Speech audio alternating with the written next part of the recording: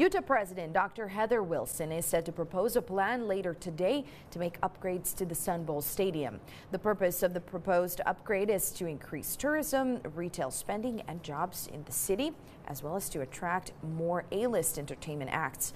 Dr. Wilson will be making the full announcement at a press conference today, so make sure to stay with KTSM for the latest. And remember, you can stay up to date with our latest stories and all our latest weather conditions on our free KTSM 9 News app.